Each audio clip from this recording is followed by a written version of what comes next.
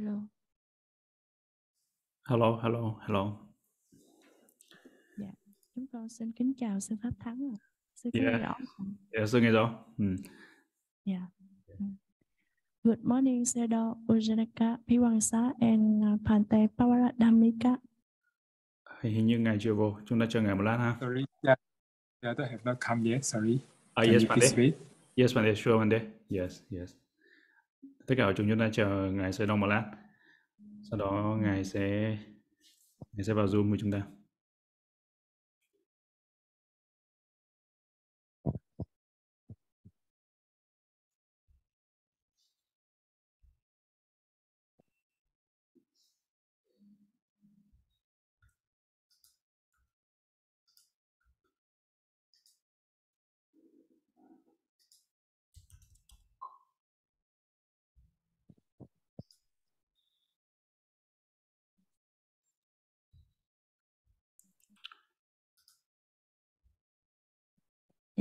Khóa thiền lần này có khoảng 60 thiền sinh ạ. Oh, wow, sadhu.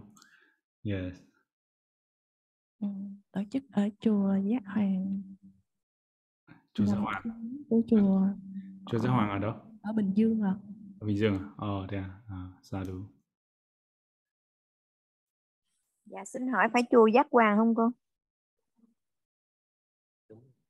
Dạ, đúng rồi ạ. Ừ. Dạ, ờ, chúc hồi um, sư giúp chúng con xin ờ, xin sám hối với ngài và xin tám giới trước pháp thoại ạ. Uh, yeah. Ờ, Vanami Pande. Mm, Vandami Pante. mm, mm. Để cho spotlight ngài lên. Yeah.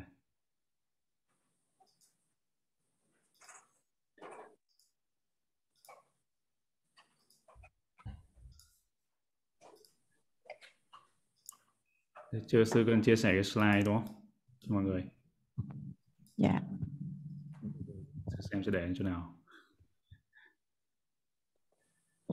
mọi người ở dưới nghe rõ không ạ? Mọi người nghe được không?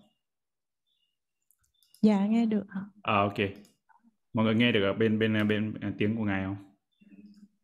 Dạ, con chưa nghe tiếng của ngài. À, ok. Và uh, Pandit, so before Pandit, uh, the, the Dharma talk, so uh, we will uh, do the Okasa request uh, forgiveness from Pandit and uh, pay respect to Pandit. And after the audience request Pandit for the eight precepts. So uh, I will share the screen now. Chúng ta đọc theo đọc theo sư tất cả chúng ta đọc, đọc theo sư và để chúng ta đảnh lễ và sám hối với ngài xe đó. Okasa vanami pande Okasa Wanami Pante Sukhi hodu nirvana sabbachiyo hodu. maya katang bunyan samina anumodita bang Mayang Katang Bunya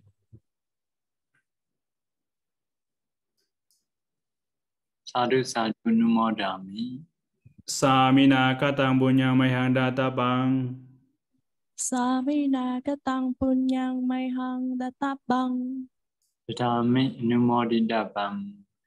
Sadhu sadhu anumodami okasa dvatayena katan sabang achayang kamatame pande Sadhu sadhu anumodami okasa dwarata yena katang sabang kamata me pante. Kamami kamidabam. Sadhu okasa kamami pande Sadhu okasa kamami pante. Sukhi hodu nirvana sabbachiyo hodu. Vanessa Bachiyo. Bây giờ chúng ta xin tam giới từ ngài xe đó. Dạ con xin đọc cho mọi người đọc theo xin mừng người đọc theo thiền tâm đây xin họ trì tam quy và tám giới với thiền sư à, trước khi mình à, à, khai mạc khóa thiền. Hằng phan tê ti tisranena saha athanga samanagattang Ubo Satha Silang Thamang Yachama Anugahang Katwa Silang Đề Tha Mê Phan Tê Đu Ti Yam Bi Ahang Phan Tê Tisara Nena Saha Athanga Samanagataṃ Ubo Sata Silang Hamang Yachami Anugahang Gatoa Silang Detha Mê Phan Tê Ta Ti Yambi Ahang Phan Tê Ti Saranena Saha อาทังกาชมนากาตังผู้โบชาตาสิลังธรรมังยาชามิ อนุกหังกัตตาสิลังเดทะเมพันเตยามหังวดามิตังวเดทะอามาพันเต Nam mô tassa bhagavato arahato samma sambuddhassa. Nam mô tassa bhagavato arahato samma sambuddhassa. Nam mô tassa bhagavato arahato samma sambuddhassa. Nam mô tassa bhagavato arahato samma sambuddhassa. Bodham Saranam Gacchami. Dhammam Saranam Gacchami. Sangam Saranam Gacchami. Buddhang Saranam Gacchami. Dhammang Saranam Gacchami. Sanghang Saranam Gacchami. Tudiyambi Bodham Saranam Gacchami. Tudiyambi Dhammam Saranam Gacchami. Dutiyampi Sangam Saranam Gacchami. Dutiyampi Buddhang Saranang Gacchami. Dutiyampi Dhammang Saranang Gacchami. Dutiyampi Sanghang Saranang Gacchami. Dadiyampi Bodham Saranam Gacchami. Dadiyampi Dhammam Saranam Gacchami. Tadiyambi Sangam Saranam Gacchami. Tatiyambi Buddhang Saranang Gacchami. Tatiyambi Dhammang Saranang Gacchami. Tatiyambi Sanghang Saranang Gacchami. ti Chư Saranagamanam Bari Bonam. Amafante. Panadi Bada Viramani Sekhabram Samadhiyami.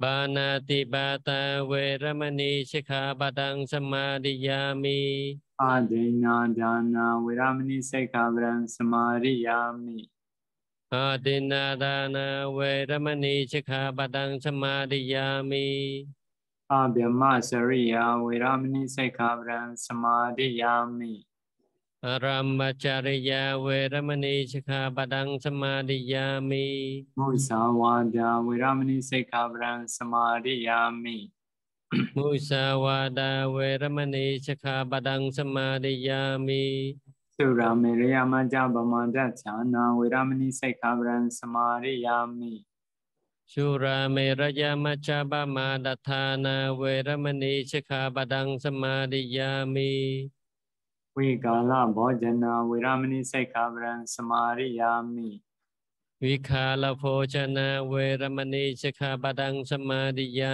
မိနာချာနာချာဣဒာဂီတာအာဒိဒာဝဒိတာဝိစုခဝိစုခအသနဒသနမာလာကန္ဒမာလာကန္ဒပိလေပန္န วิเลปันะอารันะธารันะอันดันะมันดันะวิภูชนาทานาเวรามนีสิกขาบรันสมาริยามิวิภูชนาทานาเวรมณีสิกขาบดังสมาริยามิโอจาเสนามหาเสนาเวรามนีสิกขาบรันสมาริยามิพุจจาชยนามหาชยนาเวรมณีสิกขาบดังสมาริยามิ อิดังเมบุญยังอิดังเมบุญยังอาสวะขยังอาสวะขยังหังโหตุปะหังโหตูอิดังเมสีลังอิดังเมสีลังบานาสะนิบานาสะเจโยปัจเจโยปดูออนตูวิสระเนนะสหอัตถิงาสัมนากดังโมสระสีลัง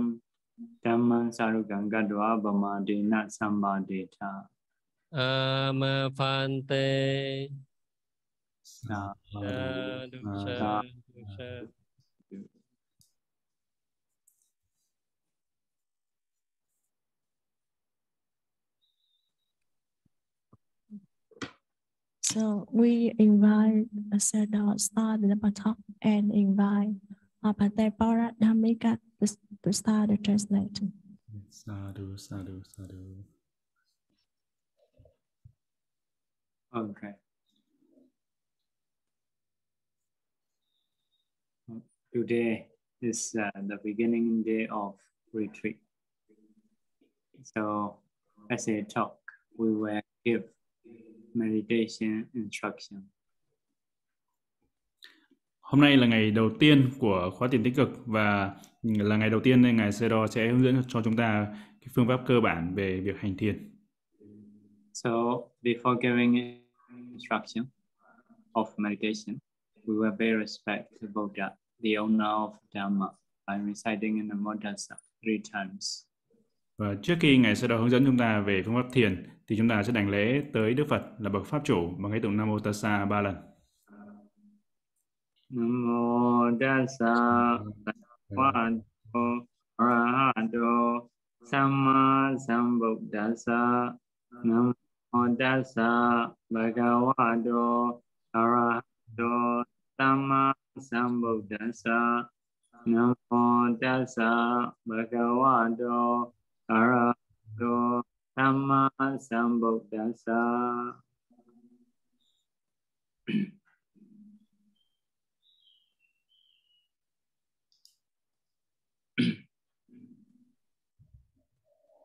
Okay.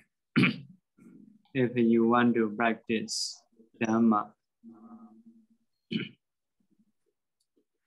there are three trainings Sila, Samadhi, and Panya.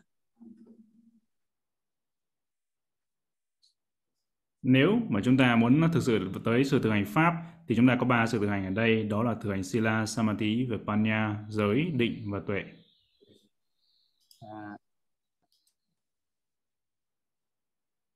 Sila can train our body and speech uh, to stay properly, to live properly. Sila là có chúng ta có thể thu thúc rèn luyện thân thân ờ, thân nghiệp khẩu nghiệp thân thân và khẩu làm việc để hoạt động hay làm sử dụng cách đúng đắn hay là thân chúng ta thu thúc thân và khẩu để làm những việc đúng đắn So if you can practice Sila, if you can keep our body and speech well, so we may not have a regret. We will be happy. nếu mà chúng ta có thể giữ được sila giữ giới được tốt đẹp có nghĩa rằng chúng ta thu thúc giữ được thân khẩu một cách trong sạch một cách tốt đẹp thì khi đó chúng ta sẽ không có cái, sự trạo hối hối hận và chúng ta sẽ có đem đến cái sự an lạc At that time, our mind is generally clear, pure. khi đó thì tâm của chúng ta sẽ trở nên cái bản chất tự nhiên trở nên trong sáng thanh tịnh Other people will not blame us. We may not accuse ourselves. và những người khác sẽ không chê trách chúng ta và chúng ta cũng không tự mình trách mình we can approach any audience uh, without fear. Uh, we will not die deludedly. và chúng ta đi vào mọi hội chúng đều không có sự sợ hãi rụt rè và khi chết chúng ta không bị rối loạn trong lúc lâm chung After passing away, we were reborn in a good destination. và sau khi chết chúng ta sẽ tái sinh vào những cảnh giới tốt đẹp Because of this, Sila is to be trained at first chính vì vậy sila hay giới là cái sự thực hành phải chúng ta phải làm đầu tiên So, how we need to keep our body and speech. So, we need to learn from the Buddha's teaching. So, generally, no killing, no stealing, no telling a lie, no doing sexual misconduct, uh, not drinking alcohol or using drugs. và làm thế nào để chúng ta có thể giữ được thân khẩu ý thân khẩu một cách trong sạch hay giữ giới một cách trong sạch thì nói một cách tổng quát đó là chúng ta phải giữ giới theo là thực hành theo lời dạy của Đức Phật nói một cách tổng quát đó là chúng ta không sát sinh không trộm cắp không tả dâm không nói dối không uống rượu bia hay là dùng những chất say So for the Siale, Siale precept, for the Samnera, have a precept. For the Bhikkhu, have a backwards precepts. So we need to train ourselves to practice those things and to have a benefit for this life and next life. Đối với các cô xà lê thì có giới của các cô xà lê. Đối với các vị sa di Samanera thì có giới của của sa di. Đối với các vị tỷ khưu Bhikkhu thì có giới của tỷ khưu. Và chúng ta cần phải đều về thực hành cái giới của mỗi người và để thực hành để cho được cái sự lợi lạc của đời này và đời sau. So next sila is to control or restrain our eye, ear, nose, tongue, body, or body and mind. So not to not to see or listen unsuitable objects, etc. So avoiding the object, which is no proper, or having good attitude, proper attention towards those objects uh, when we need to see uh, or we need to listen. Và cái giới thứ hai nữa là bên cạnh những giới này đó là cái giới thu thúc thu thúc giới. Chúng ta phải thu thúc mắt, tai, mũi, lưỡi, thân và ý của mình. Thu thúc mắt là để chúng ta nhìn nhìn những gì thích hợp thôi, không nhìn những cái thứ những cái cảnh không thích hợp. Nghe những cái gì thích hợp mà không nghe những cái gì mà những cảnh không thích hợp. Cũng tương tự như vậy chúng ta nếm, xúc chạm hay là ngửi cũng thế, là suy nghĩ cũng vậy. Và nữa tiếp theo đó là chúng ta phải có được cái thái độ, thái độ đúng đắn khi chúng ta nhìn rồi chúng ta chúng ta phải có những cái thái độ đúng đắn với những cái thứ là những cái những cái cảnh để sao có thái độ đúng đắn như vậy hay là như lý tác ý như vậy thì không để cái tâm bất thiện khởi sanh Without restraining those uh, to keep our mind well, it is very difficult. But uh, if we restrain those difficulties, it will be easier.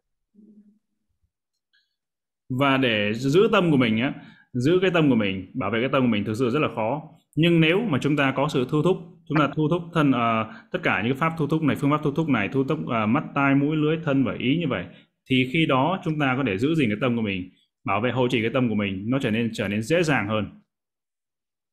So next one is a good livelihood, avoiding bad livelihood or wrong livelihood.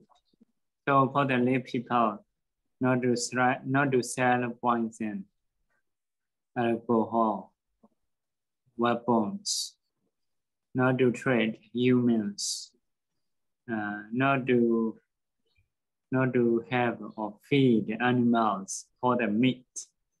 So need to avoid those.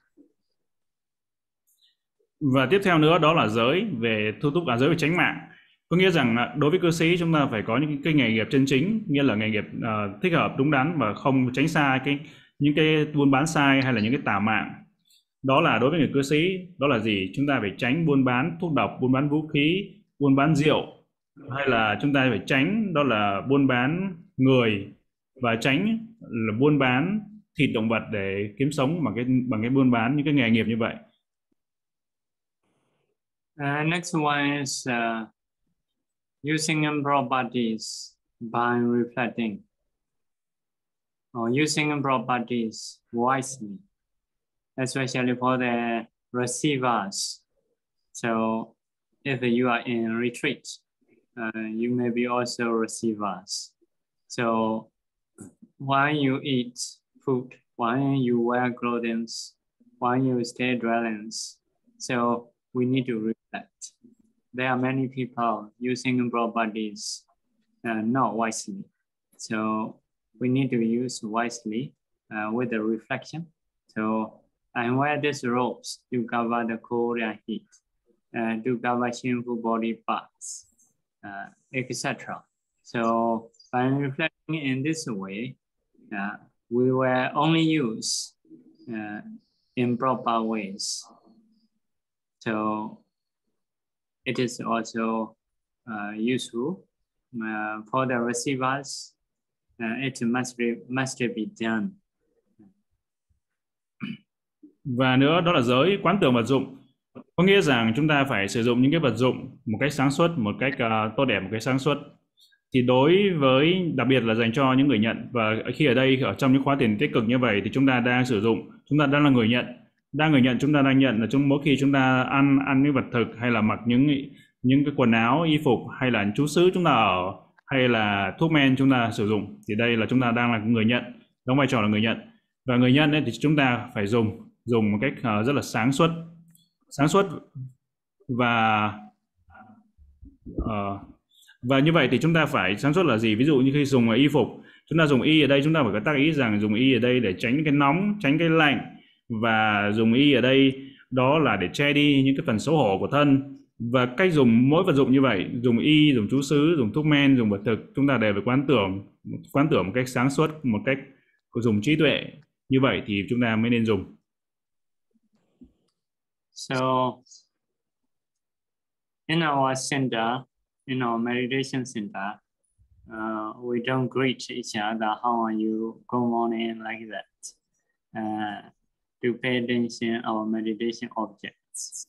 So if we really need to talk, uh, we may ask to talk. So generally, uh, we don't talk. Và trung tâm thiền của chúng ta hay thiền viện của chúng ta thì bình thường những hành giả sẽ không có chào hỏi không có xã giao chào hỏi với nhau là how are you bạn khỏe không? hay là good morning xin chào. Chúng ta không có chào hỏi như vậy. Bởi vì nếu mà bởi vì chúng ta đang, đang chuyên chú tập trung vào cái đề mục thiền của mình vào cái sự thực hành của mình trên đề mục thiền đối tượng thiền của mình. Còn nếu mà trong cái trường hợp mà chúng ta thực sự là cần phải nói cần phải giao tiếp cần phải hỏi thì khi đó chúng ta mới mới nói thôi. Còn nếu không thì chúng ta giữ tâm trên đề mục thiền của mình. Nonetheless, when we go into or going out to the meditation hall. so need to be quiet.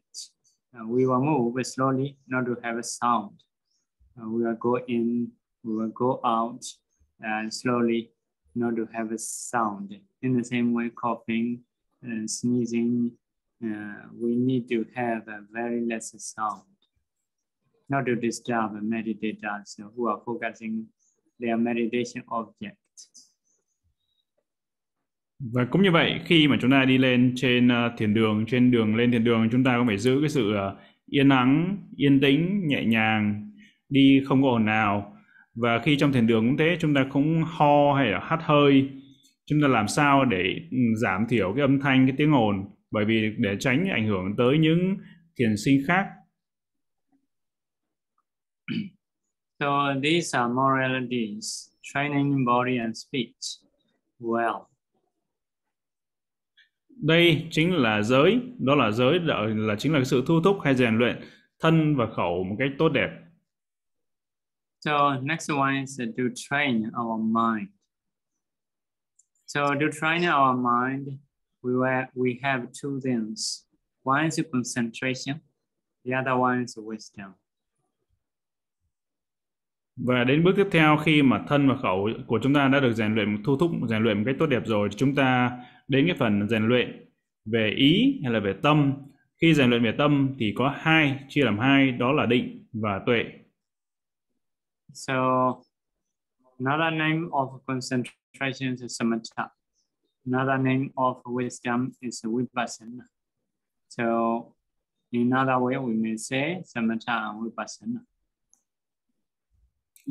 Cái tên khác của định đó là samatha, mà cái tên khác nữa của tuệ đó là vipassana. Hay nói một cách tổng quát chúng ta gọi là hành thiền samatha và vipassana.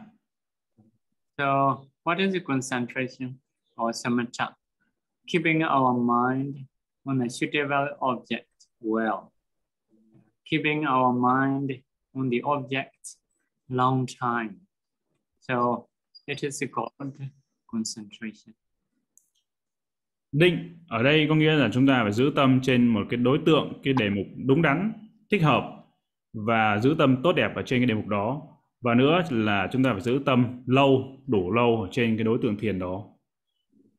If we success in we can be happy in the present life. We can be happy in our job.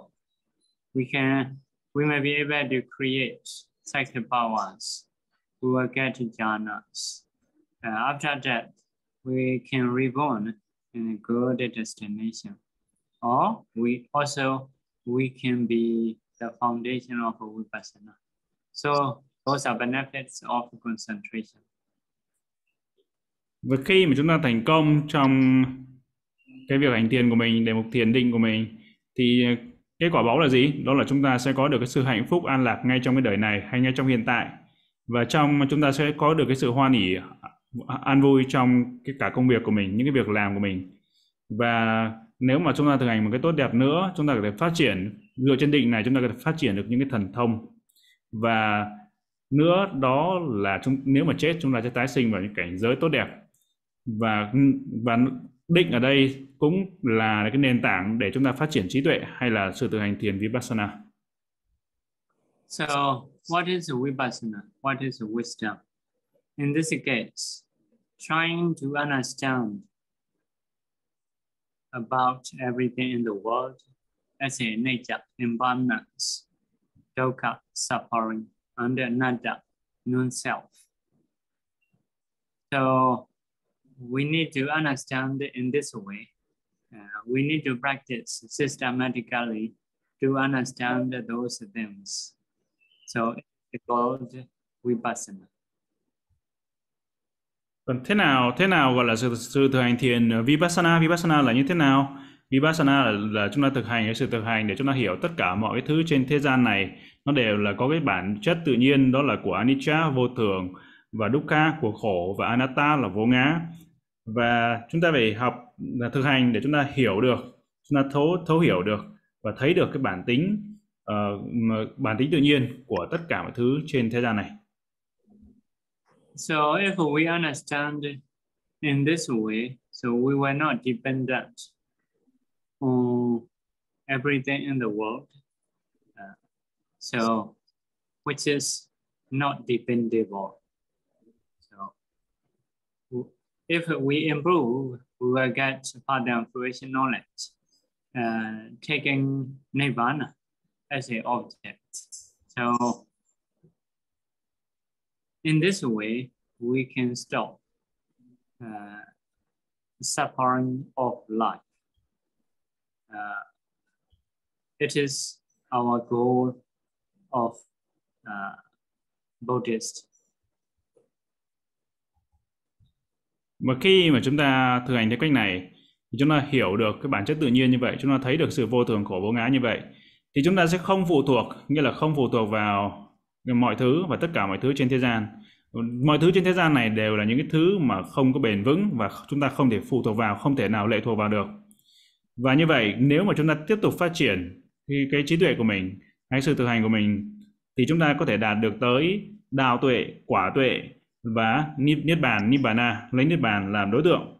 Và như vậy thì chúng ta có thể dừng lại hay là dừng lại được uh, những cái cái cái khổ tất cả những cái khổ trong những kiếp sống trong những cái đời sống và đó cũng chính là mục tiêu mục tiêu tối thượng mà chúng ta đặt ra đối với tất cả các hàng Phật tử tất tất cả những người con Phật So, first of all, we want teach concentration. So, to practice concentration, uh, the Buddha taught 40 meditations, 40 way of meditations. So, but uh, we will teach breathing meditation out of uh, 40 ways. về nói về phương pháp hành thiền định thì Đức Phật uh, của chúng ta ngài đã dạy 40 đề mục thiền định tất cả và đầu tiên thì ngài sẽ đo sẽ dạy một trong uh, 40 cách uh, 40 phương pháp thiền định đó là phương pháp niệm hơi thở. So, if you want to practice breathing meditation, you need to approach seclusion in a quiet place. Uh, you should sit cross-legged. uh, so, it is, which is the best posture. You can keep your hand on the left or on the knee which one is comfortable for you. So you keep your upper body straight. Và nếu mà chúng ta muốn à, tiến tới việc hành thiền thì đầu tiên chúng ta phải chọn cái nơi yên tĩnh, chọn cái nơi yên ắng và khi mà tới được cái nơi yên tĩnh rồi thì chúng ta ngồi xuống ngồi chéo chân. Và cái oai đó là cái đó là cái oai nghi. Khi ngồi xuống cái oai nghi tư thế ngồi là cái tư thế tốt nhất, thích hợp nhất cho cái việc hành thiền. Và tay tay thì chúng ta có thể để trên uh, trên đùi của mình hay là để trên hai đầu gối của mình để bất kỳ cái tư thế nào cái oai nghi nào mà chúng ta thấy thoải mái nhất còn đối với lưng thì chúng ta giữ thẳng lưng After that, you should keep your mind on the nose nostril or on the upper lip around this area. So you should not go into, you should not aware here and there. So you should try to keep.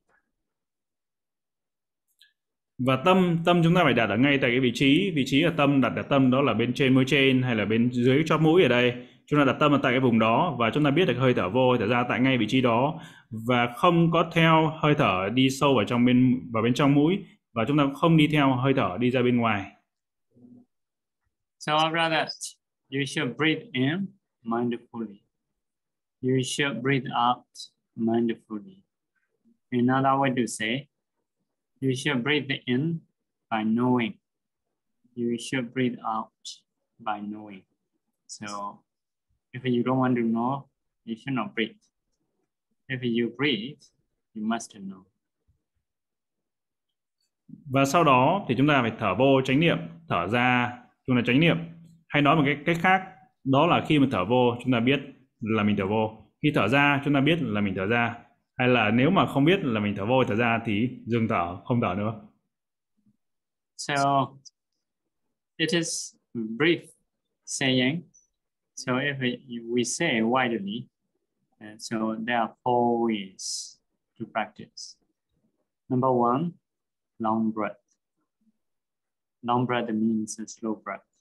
Number two short breath. Short breath means quick breath. Number three, the whole breath. Uh, the whole breath means continuously knowing.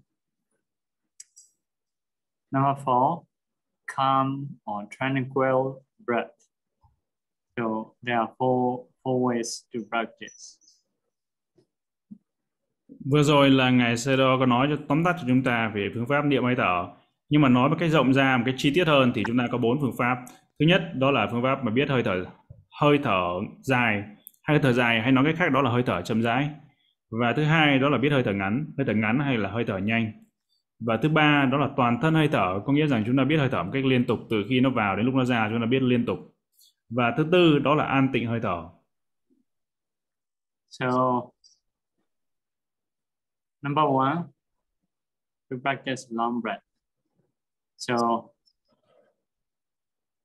you should keep your upper body straight. After that, uh, you should have desire and will do long breath or slow breath.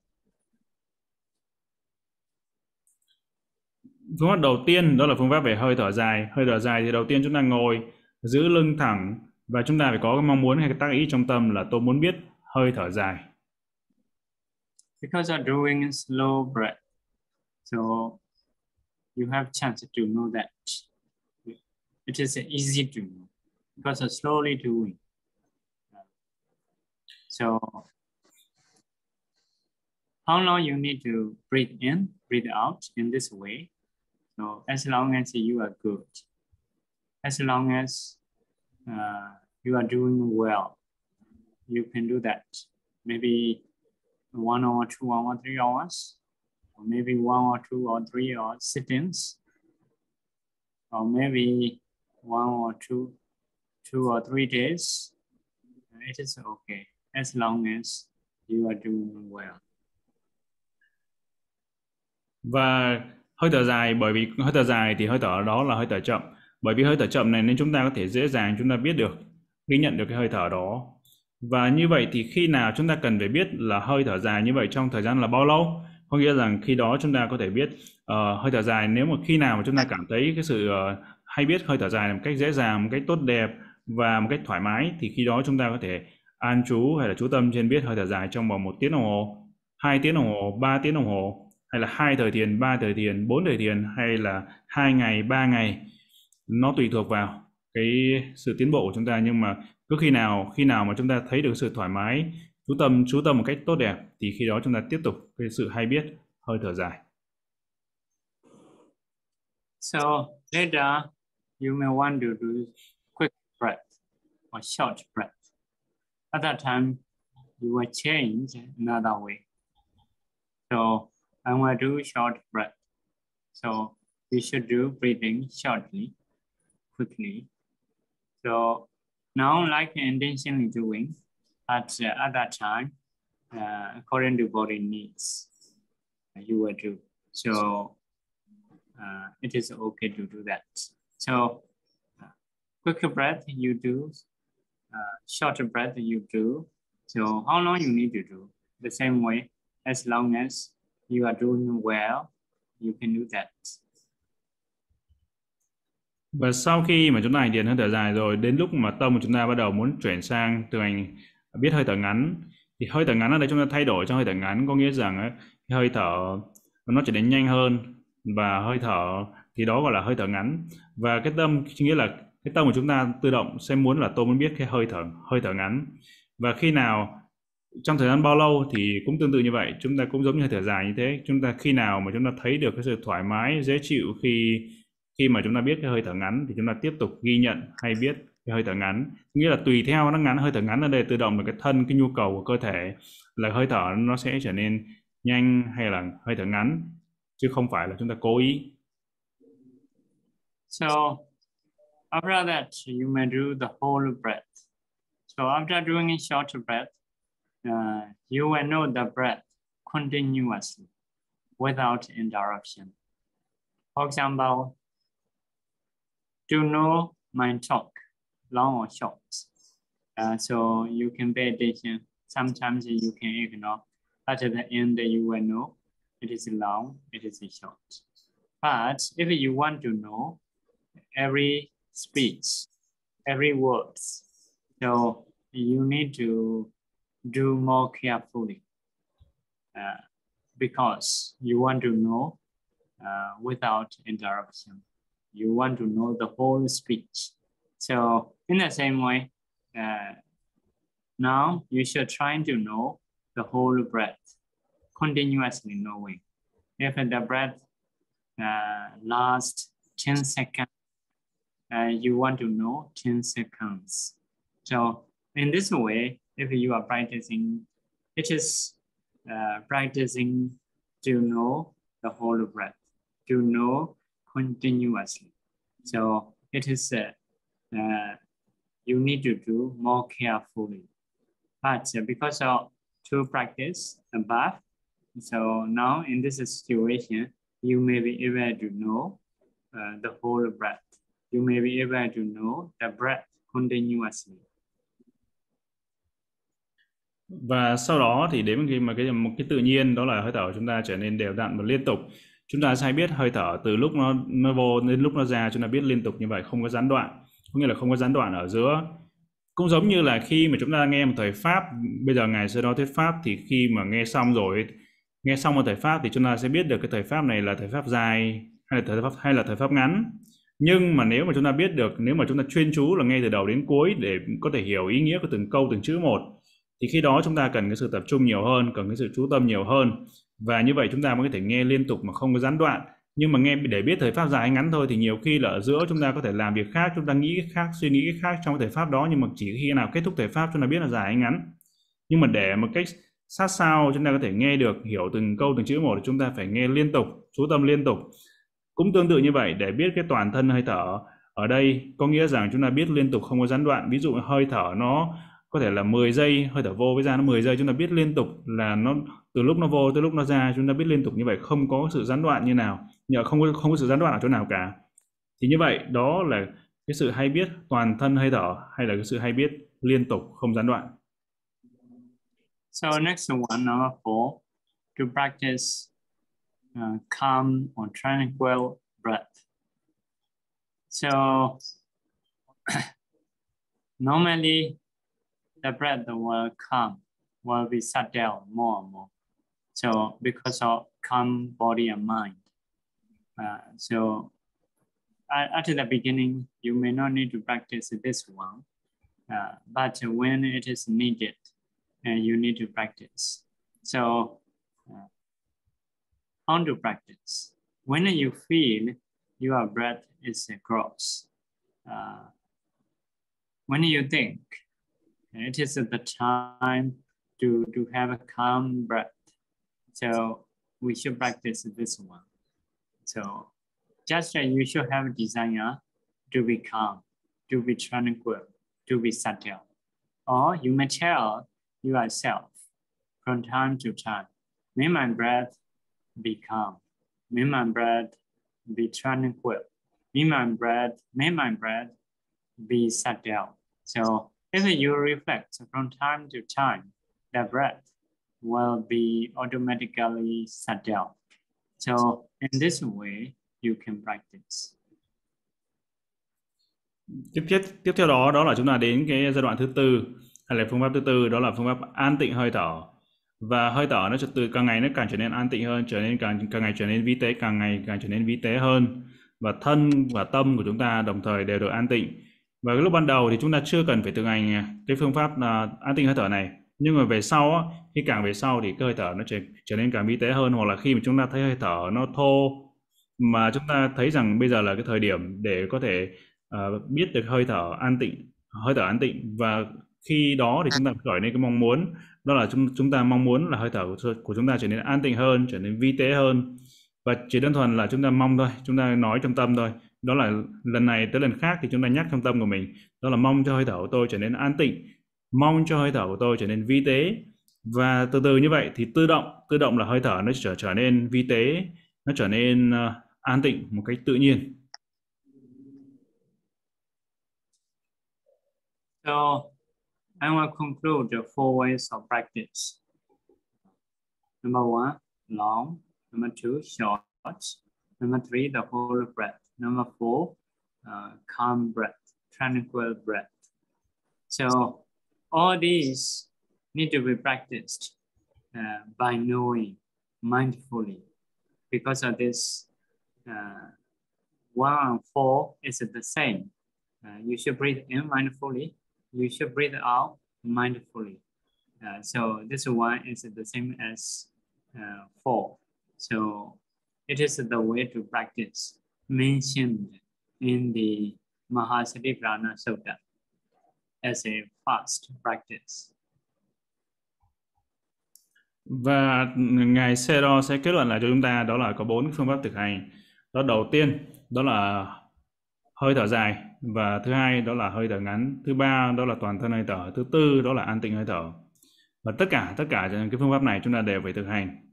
Và khi uh, chúng ta chúng ta thực hành thực hành như vậy thì cái, cái vấn đề là chúng ta đều phải biết đều phải hay biết và chánh niệm. Hay biết chánh niệm chúng ta thở vô hay biết chánh niệm chúng ta thở ra. Và hay biết chánh niệm chúng ta thở biết hơi thở dài biết hơi thở ngắn biết uh, toàn thân hơi thở biết hơi thở an tịnh. Và đây là phương pháp cơ bản hay là phương pháp đầu tiên được có nói được có nói ở phần đầu tiên trong bài kinh Masatipatthana Sutta bài kinh Đại niệm xứ. So if there is painful, how to do that?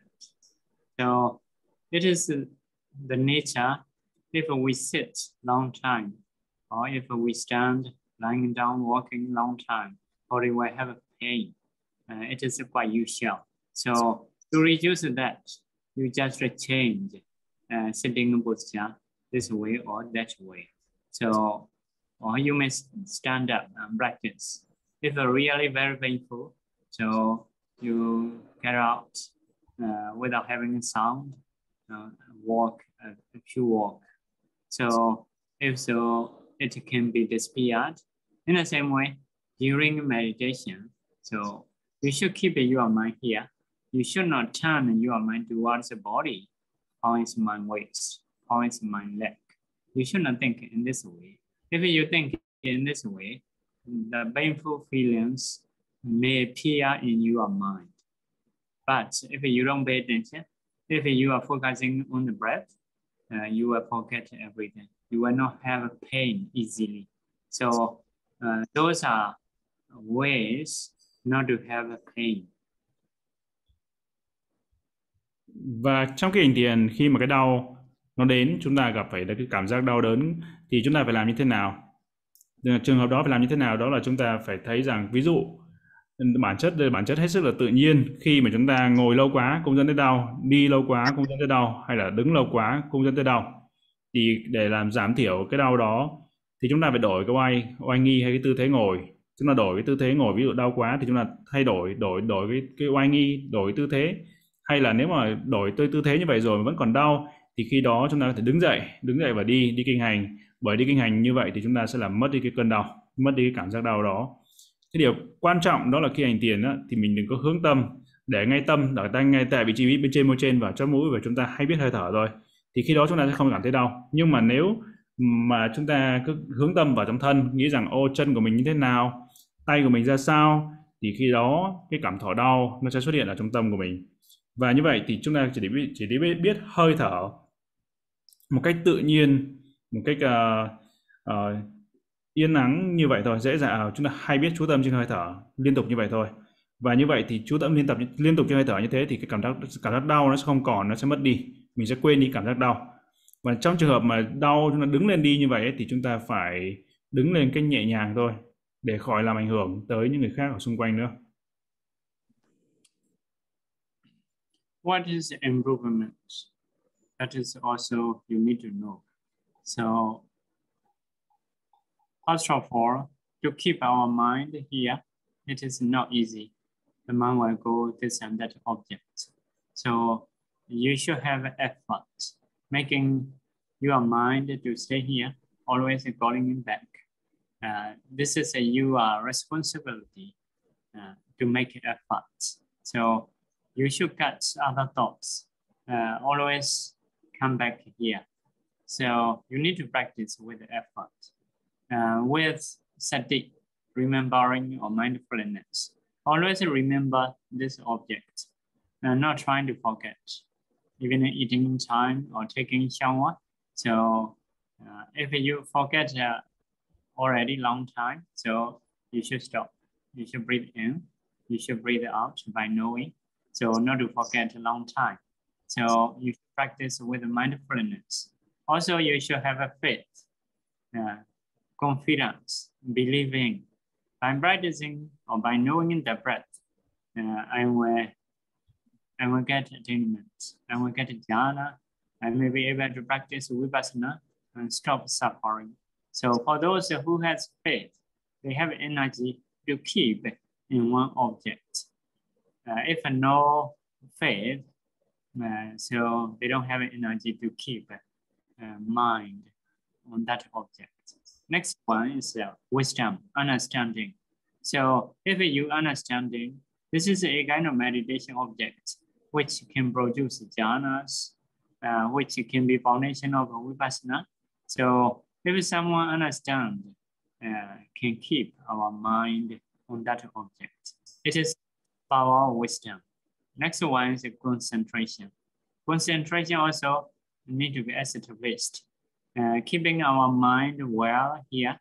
So uh, need to increase uh, so not to have any other thoughts.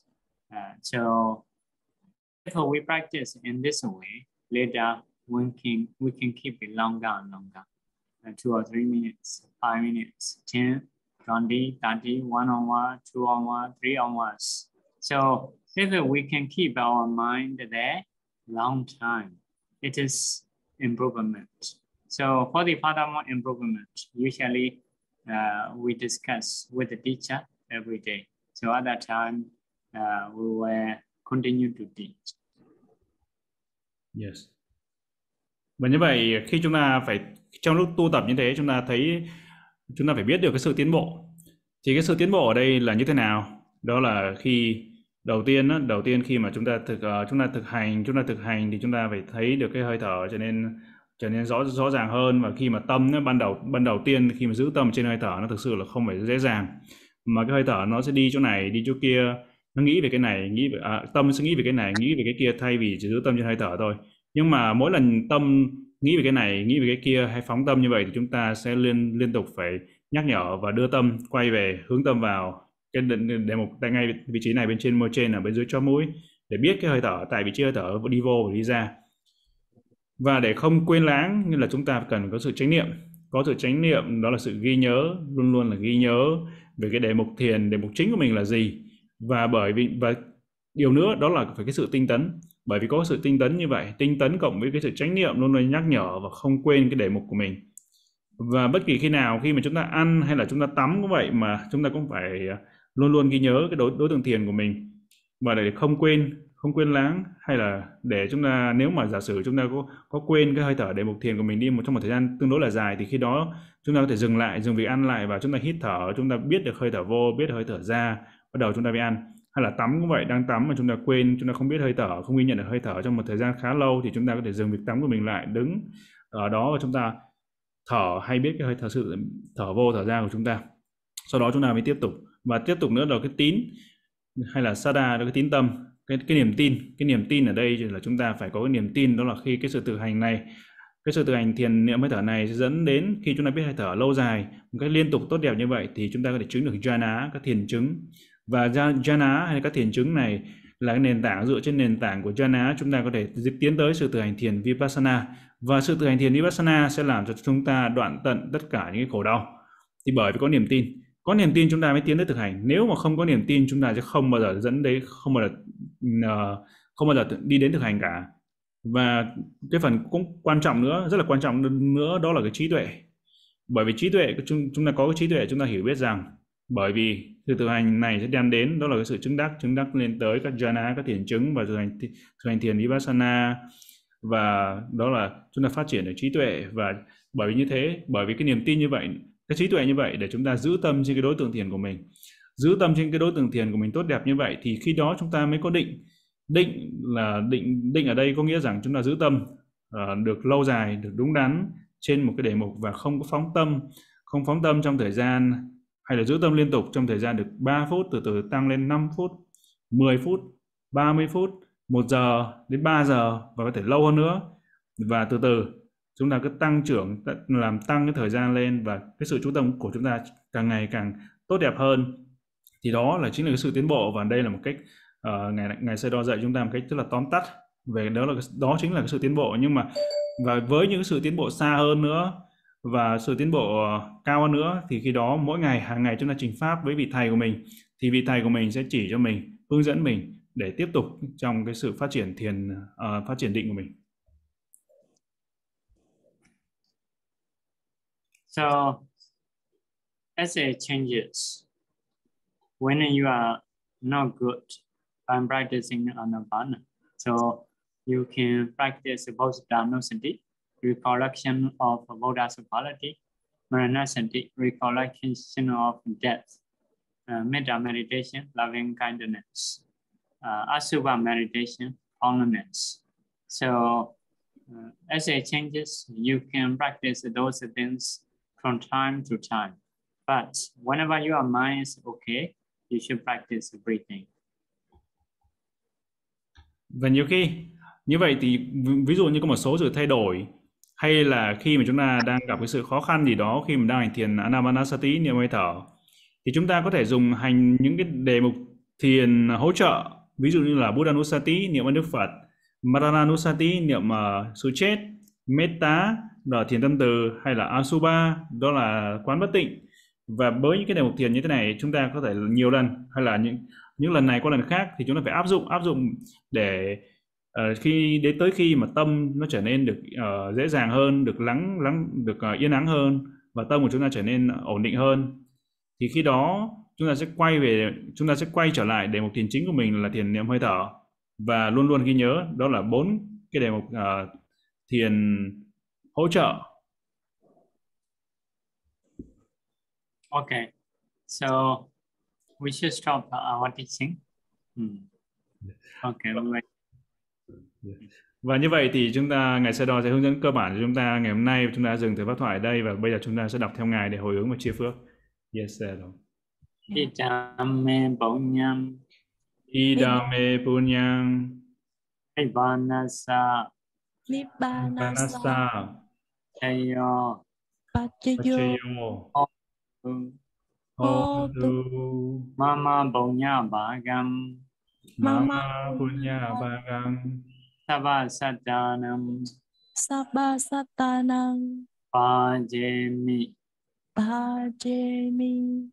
Desabe Te Sabe me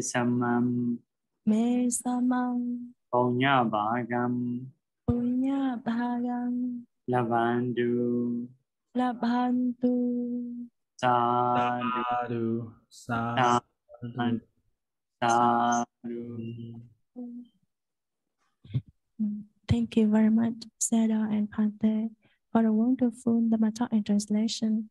May Seda and Pante be well and happy. And um, see Seda and Pante on next uh, tomorrow afternoon on 2.30 p.m. in my time on an interview session. Mhm. Yeah. Okay, that is it. sadu